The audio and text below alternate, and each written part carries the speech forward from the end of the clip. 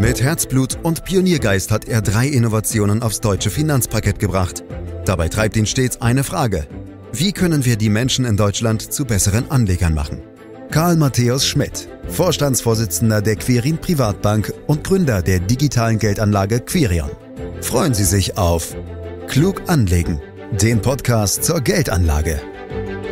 Aktienanleger schauen oft und gern auf die Performance, sprich auf die Wertentwicklung der großen Indizes wie zum Beispiel DAX, Dow Jones und Co. Dabei wird oft die so wichtige Dividendenzahlung vergessen, denn sie trägt ganz erheblich zu langfristig guten Renditen bei. Fakt ist, die meisten Unternehmen schütten weite Teile der Gewinne an ihre Anteilseigner aus und sorgen damit für stabile Erträge in den Portfolios. Doch äh, Dividende ist nicht immer gleich Dividende und eine hohe Ausschüttung muss auch nicht immer gut sein. Und genau das ist unser Thema heute mit Karl Matthäus Schmidt, Vorstandsvorsitzender der Quirin Privatbank AG und Gründer der digitalen Geldanlage Quirion. Hallo Karl. Hallo Andreas. Ja, Karl, worauf achtest du eigentlich mehr? Auf eine stabile Dividende oder auf eine gute Performance einer Aktie oder eines Index? Ja, du weißt ja, Andreas, dass ich jetzt äh, kein großer Fan äh, von gezielten Investments in einzelnen Aktien bin.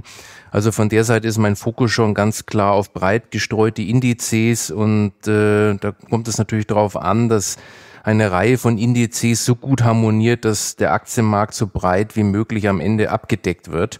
Weil äh, eine optimale Rendite und natürlich die Performance ist wichtig, aber es ist eben auch so, dass man sich möglichst wenige Risiken ins Depot holen sollte.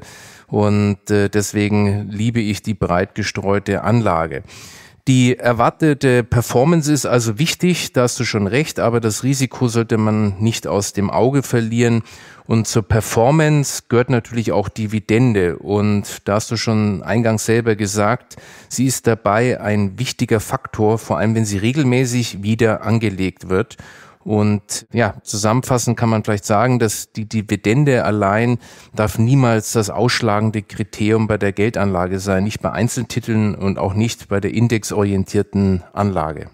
Ich denke, wir haben auch viele, viele Zuhörerinnen und Zuhörer dabei, Karl, die sich noch nicht so gut mit Aktien, Börse und so weiter auskennen. Jetzt sind wir schon fast mittendrin im Thema. Wenn ich darf, würde ich ganz gerne noch einen Schritt zurückspringen. Erklär uns bitte, was genau ist eigentlich eine Dividende? Das mache ich gerne. Wenn ein Anleger in Aktien investiert, dann stellt er den betreffenden Gesellschaften damit er Eigenkapital zur Verfügung und wird Miteigentümer. Und das ist mir, wie du weißt, ein ganz wichtiger Punkt, dass eben Aktie keine Spekulation ist, sondern Miteigentum an einem Unternehmen. So, und die Unternehmen können damit ihr Geschäft aufbauen, erweitern oder umgestalten. Erwirtschaftet dann eine Aktiengesellschaft Gewinn, kann dieser für bestimmte Zwecke eingesetzt werden, zum Beispiel für Investitionen oder zur Bildung von Rücklagen oder eben auch zur Dividendenausschüttung. So und üblicherweise wird ein Teil des Jahresgewinns regelmäßig an die Aktionäre ausgeschüttet und sie erhalten quasi eine direkte Erfolgsbeteiligung, nämlich die Dividende. Aber wie gesagt, das ist nicht zwingend. Manchmal kann die Gewinnverwendung für Investitionen auch für den Aktionär besser sein, als unmittelbar eine Dividende zu erhalten. Karl, wer legt eigentlich fest, ob eine Dividende gezahlt wird und vor allem, wie hoch sie sein soll? Ja, wenn wir hier in Deutschland bleiben, ist es äh, tatsächlich so, dass der Vorstand einer Aktiengesellschaft im Vorfeld des Aktionärstreffen vorschlägt, ob und in welcher Höhe eine Dividende gezahlt werden soll. Der letztendliche Beschluss darüber wird dann auf der Hauptversammlung mit einfacher Mehrheit der stimmberechtigten Aktionäre gefasst.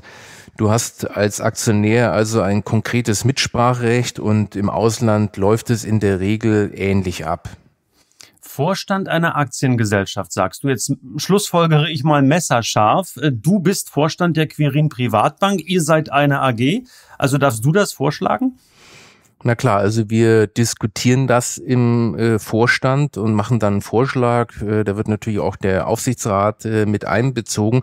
Und dann geben wir quasi diesen Vorschlag wirklich zur Hauptversammlung und dann kommt dann dort äh, die Entscheidung. Also bei uns läuft es genauso. Eine Dividende wird in der Regel einmal pro Jahr gezahlt. In den Vereinigten Staaten, weiß ich, ist das sogar ähm, häufig einmal pro Quartal, damit äh, regelmäßig Einkommen generiert werden kann. So würde ich es jetzt mal formulieren. Was findest du eigentlich besser?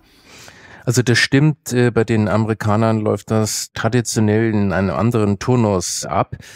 So, wenn ein Anleger in, nur in einer einzelnen Aktie investiert ist, dann sind natürlich Dividendentermine für ihn relevant. Aber du weißt ja, dass ich das für keine so gute Idee halte und Anleger immer eine Vielzahl von Aktien im Depot haben sollte. Und dann hast du natürlich ganz automatisch eine Vielzahl von Ausschüttungsterminen und damit ist es egal, ob einzelne Unternehmen jährlich, halbjährlich oder gar vierteljährlich ausschütten.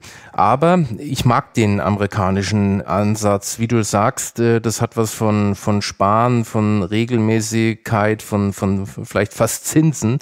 Und deswegen äh, finde ich das wirklich eine gute Idee.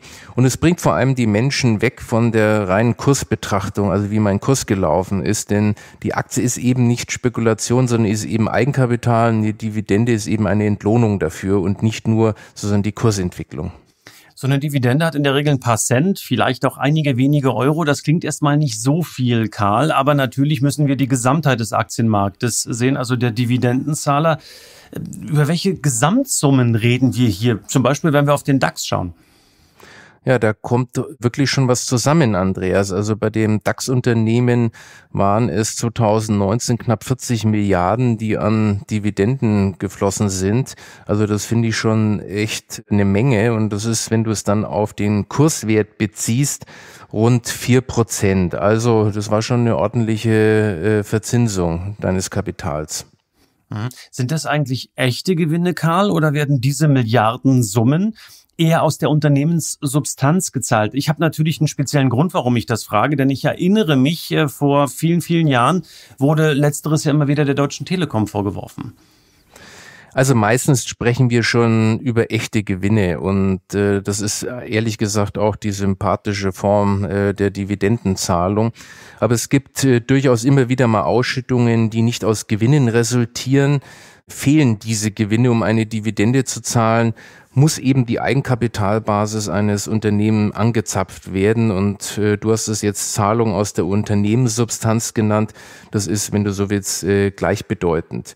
Das Unternehmen so einen Schritt machen, hängt äh, manchmal auch an der Aktionärstruktur zusammen die vielleicht auf die Dividenden angewiesen sind. Und dann gibt es, wenn du so willst, Druck, sozusagen diese Dividende auch, egal wie das äh, betriebliche Ergebnis im Jahr war, dann auch auszuzahlen. Und äh, oftmals ist es zum Beispiel auch bei Aktien, wo der Bund oder Länder beteiligt sind, äh, passiert oder auch Private Equity Gesellschaften, die haben dann auch gern regelmäßige Dividendenzahlungen. Und da war das, äh, so wie du sagst, tatsächlich auch bei der äh, Telekom der Fall. Und so ist es dann passiert, dass eben äh, aus der Substanz äh, gezahlt worden ist. Aber das ist glücklicherweise nicht der Regelfall. Das bedeutet ja aber auch im Klartext, Karl, und ich glaube, das ist wirklich eine wichtige Information, dass hohe Dividenden nicht immer wirklich gut für ein Unternehmen sind, oder? Genau, das ist äh, gut zusammengefasst. Denn wenn äh, für die Dividendenzahlung das Eigenkapital angeknabbert wird, dann, wie ich gerade ausgeführt hat, ist es tatsächlich äh, nicht förderlich. Aber auch zu üppige Ausschüttungen aus vorhandenen Gewinnen können nachteilig wirken. Dann fehlt nämlich das Geld für wichtige Investitionen oder notwendige Umstrukturierungen. Und aus Anlegersicht sind diese ja vielleicht für die langfristige Rendite oft wichtiger als die Dividende, die eben auf Biegen und Brechen ausgeschüttet wird. Was hilft mir eine tolle Dividende, wenn das Unternehmen im Punkto Innovation und Fortschritt regelmäßig den Zug verpasst und äh, am Ende dann der Aktienkurs auch Schaden nimmt? Mhm. Welche großen Unternehmen, jetzt egal Karl, ob in Deutschland, in den USA, wo auch immer sie sitzen mögen, sind denn über Jahre und Jahrzehnte hinweg die Dividendenkönige? Also sprich, wer hat regelmäßig gezahlt und gut gezahlt beispielsweise? Das ist genau das richtige äh, Stichwort. Man darf sich nicht nur einfach anschauen, wer zahlt eigentlich überhaupt eine äh, hohe Dividende, das kann nämlich auch in die Irre führen. Insbesondere kann ja auch die Dividende-Rendite deswegen hoch sein, weil der Aktienkurs stark eingebrochen ist und nicht, weil das Unternehmen hohe Gewinne erwirtschaftet.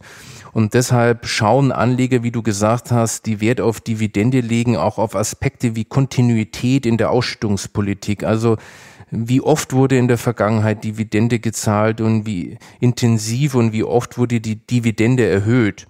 Und äh, um es auf den Punkt zu bringen, wer sind diese Würdenträger in Deutschland? Äh, das sind Werte wie die Allianz, die Münchner Rück, aber auch äh, Henkel und Siemens. Und in Amerika sind es Coca-Cola, Procter Gamble, Johnson Johnson, um hier mal die bekanntesten äh, zu nennen. Aber, und das ist mir ganz wichtig, die grundsätzliche Problematik, dass die Anlage in einzelnen ausgesuchten Aktien einfach viel zu hohe Risiken birgt, wird auch nicht dadurch geheilt, dass äh, bei der Auswahl ein besonderes Augenmerk auf erstklassige Dividendenpolitik gelegt wurde. Also Dividende ist nicht König, sondern aus meiner Sicht, und das ist mir wichtig, ist die Streuung der König. Deswegen bitte kauf jetzt nicht nach dem Podcast sofort diese Titel. Wir wollen ja auch keinen Podcast machen um die vermeintlich heißesten Aktientipps. Wenn ich das jetzt so ein Stück weit zusammenfassen darf, kann man also sagen, dass Unternehmen mit einer stabilen Dividende zwar ganz okay sind, aber eben am Ende des Tages nicht unbedingt auch die erfolgreicheren Unternehmen. Genauso ist es, äh, Andreas. Grundsätzlich gilt zwar, dass regelmäßige Ausschüttungen ein gewisser Indikator für ein solides Wachstum des Unternehmens sind, wenn eben die erzielten Gewinne äh, dann auch äh, nicht aus der Substanz gezahlt werden, sondern erwirtschaftet werden. Eine regelmäßige Ausschüttung garantiert dir aber nicht, dass das Unternehmen per se erfolgreich wirtschaftet.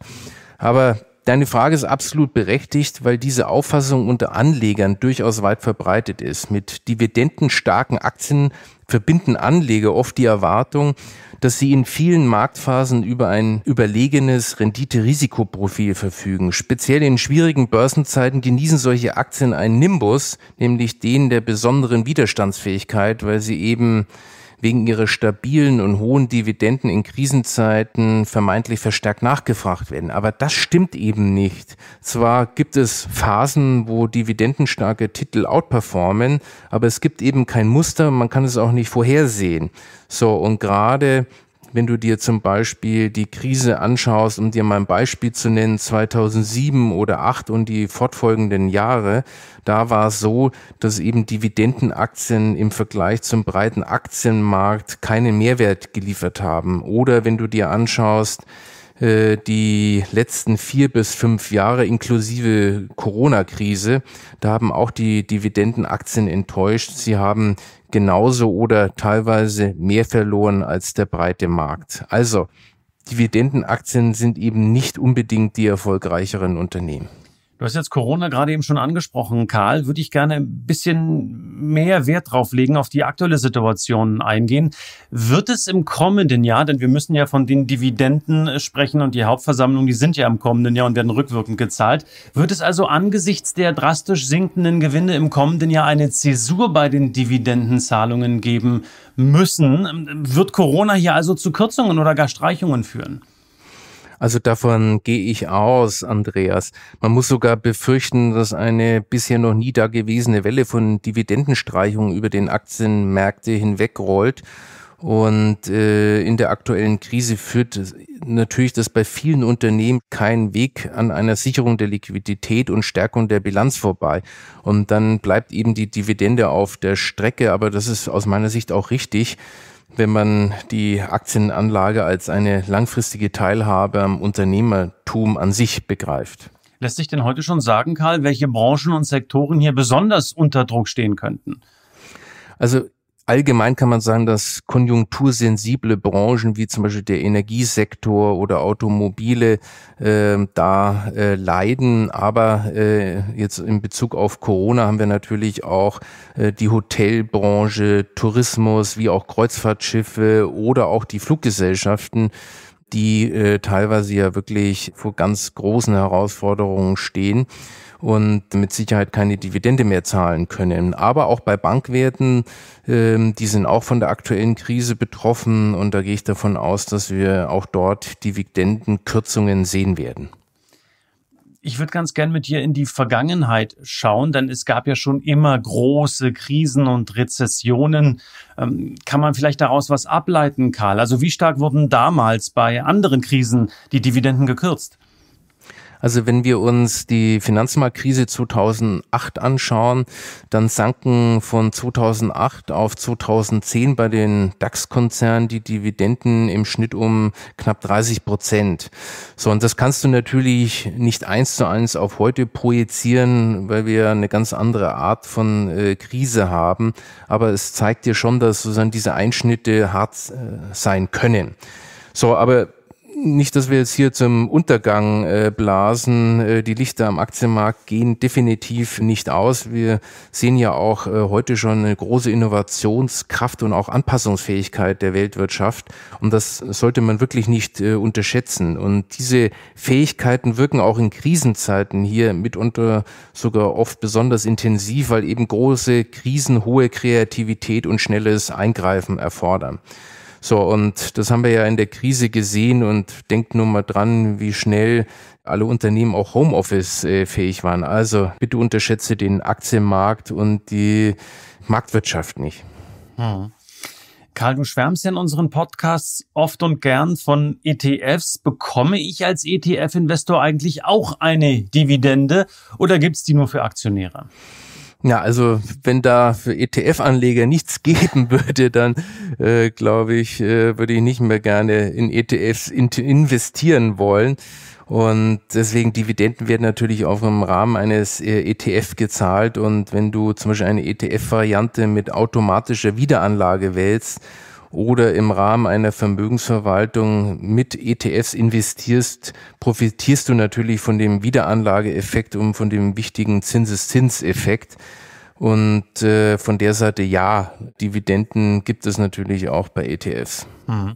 Egal ob ETFs oder Einzelwerte, Karl, wie viel muss man eigentlich anlegen, um von der Dividende ordentlich leben zu können? Ja, das ist natürlich nicht einfach zu beantworten, weil das liegt natürlich äh, auch daran, wie viel du zum Leben brauchst. Aber um dir vielleicht da eine Idee zu geben, wir haben heute eine Dividendenrendite beim breit gestreuten globalen Aktiendepot vielleicht von zwei bis drei Prozent. Und wenn wir mal sagen, du willst irgendwo zwischen sechs und 7.000 Euro im Monat haben, dann brauchst du schon eben ein Depotvolumen von rund drei Millionen. Aber da muss man eben auch aufpassen, äh, Dividenden können ja mal ausfallen oder auch der Depotwert kann stark schwanken. Und deshalb äh, diese Überlegung, dass man nur Dividendenwerte hat, und damit dann äh, seine Ausgaben tätigt, äh, das reicht nicht. Man sollte schon insgesamt ein renditeträchtiges äh, Portfolio aufbauen und das ist, glaube ich, die beste Idee. Und vor allem breit gestreut, nicht nur eben halt auf eine Anlageklasse. Hat mir mal ein kluger Mann gesagt, Karl, der macht viele Podcasts. Ähm, abschließend, genau. abschließend möchte ich dir noch ein Bonmot zwischen die Rippen hauen. Ich zitiere den deutschen Bankier Karl Fürstenberg, der vor mehr als 100 Jahren gesagt hat, Aktionäre sind dumm und frech. Dumm, weil sie Aktien kaufen und frech, weil sie dann noch Dividende haben wollen. Kann man das heute noch so ernst nehmen, Karl? Also Andreas, ich mag dieses Zitat wirklich nicht. Es ist ja jetzt schon 100 Jahre alt, vielleicht dann mhm. äh, irgendwann doch aus der Zeit gefallen. Äh, ich kann ja noch ein anderes Zitat von Herrn Fürstenberg geben. Der hat mal gesagt, der Reingewinn ist der Teil der Bilanz, den der Vorstand beim besten Willen nicht mehr vor den Aktionären verstecken kann. Und da siehst du schon, welche Einstellung er zu seinen Aktionären hatte. Und äh, ich glaube, wir haben da heute ein ganz anderes Verständnis und das passt auch nicht mehr zu der heutigen äh, Aktienkultur. Und ich glaube, wenn ich so agieren würde und meine Aktionäre so beschimpfen würde, dann äh, würden die mich bei der nächsten Hauptversammlung vom Hof jagen und äh, ich das das will glaub, das will ich nicht. Das kann ich verstehen. Äh, und das ist ein gutes Stichwort, weil äh, du jagst mich jetzt vom Hof, äh, nämlich der Podcast ist schon wieder vorbei. Also die Zeit rennt, wieder eine Menge gelernt heute über Dividenden, Dividendenzahlungen, auch im Vergleich zu ETFs. Ich sage danke an Karl Matthäus Schmidt für diesen Podcast, der so wie alle anderen auch jeden Freitag erscheint. Sie können uns gern abonnieren, wo und wie auch immer. Bewerten Sie uns, empfehlen Sie uns gerne weiter. Und dann sage ich für heute Tschüss, danke fürs Lauschen und äh, noch den Hinweis zumindest äh, www.quirinprivatbank.de. Da finden Sie noch viele, viele weitere Informationen, nicht nur zur Dividende. Das war Klug anlegen.